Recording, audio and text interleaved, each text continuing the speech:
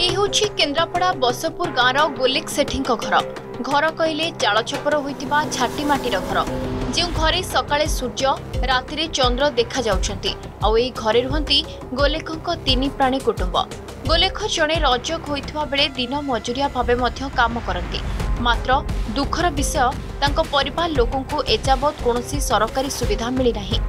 ଆମ ଛୁଆ ପାଠ ପଢ଼ି ପାରୁନା କିଛି କରୁନାହାନ୍ତି ଲାଇନ୍ ତ ଆମକୁ ଦେଉନାହାନ୍ତି ମୋଟେ ଆଉ ତିନି ଚାରି ଥର ଆପ୍ଲାଏ କଲେ ଶୁଣୁନାହାନ୍ତି।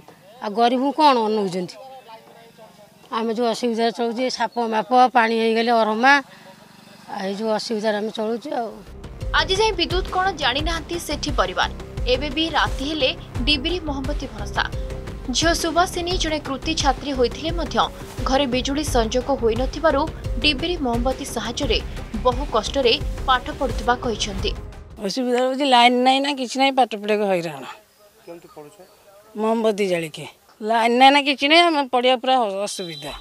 ଏହି ଅସହାୟ ପରିବାରକୁ ସରକାରୀ ସହାୟତା ଯୋଗାଇ ଦେବା ସହ ବିଦ୍ୟୁତ ସଂଯୋଗ ପାଇଁ ଦାବି କରିଛନ୍ତି ଗ୍ରାମବାସୀ। କେନ୍ଦ୍ରାପଡ଼ା ଜିଲ୍ଲାରେ ଏମିତି ଘଟଣା ବିଭିନ୍ନ ମହଲରେ ଅସନ୍ତୋଷ ସୃଷ୍ଟି କରୁଥିବା ବେଳେ ପାଟକୁରାରେ ବିଜେପି ପକ୍ଷରୁ ମଧ୍ୟ ଘଟଣାକୁ ନିନ୍ଦା କରାଯାଇଛି। ଗୋଲୋକ ସେଠୀଙ୍କ ଝିଅ ସୁଭାଷିନୀ ସେଠୀ ମୁଁ ଜାଣିବା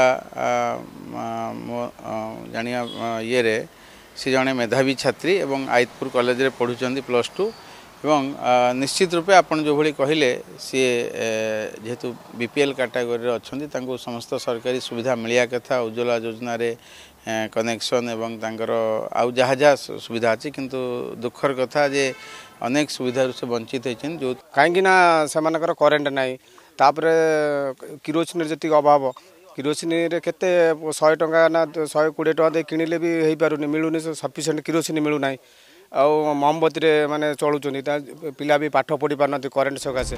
ତେବେ ଏଠାରେ ପ୍ରଶ୍ନ ଉଠେ ସରକାରଙ୍କ ମାଳମାଳ ଯୋଜନା କାହା ପାଇଁ? କେନ୍ଦ୍ରାପଡ଼ାରୁ କ୍ୟାମେରାମ୍ୟାନ୍ ସରୋଜଙ୍କ ସହ ପ୍ରଭାତ ଲେଙ୍କାଙ୍କ ରିପୋର୍ଟ ଅର୍ଗସ୍ ନ୍ୟୁଜ୍। ଯଦି ଆପଣଙ୍କୁ ଆମ ଭିଡ଼ିଓଟି ଭଲ ଲାଗିଲା ତେବେ ଆମ ଚ୍ୟାନେଲକୁ ଲାଇକ୍ ସେୟାର ଓ ସବସ୍କ୍ରାଇବ୍ କରିବାକୁ ଜମା ବି ଭୁଲନ୍ତୁ ନାହିଁ।